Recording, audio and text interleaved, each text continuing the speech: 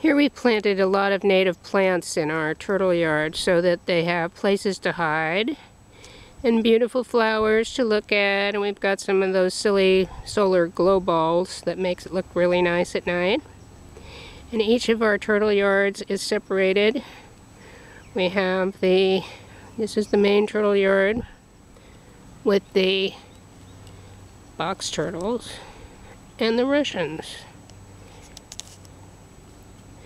And then over here, on the other side of the fence are, excuse me, the leopards. And outside of the fence are the sulcatas.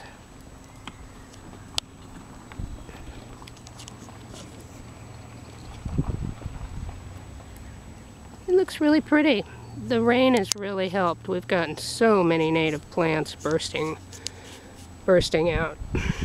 This is a sage.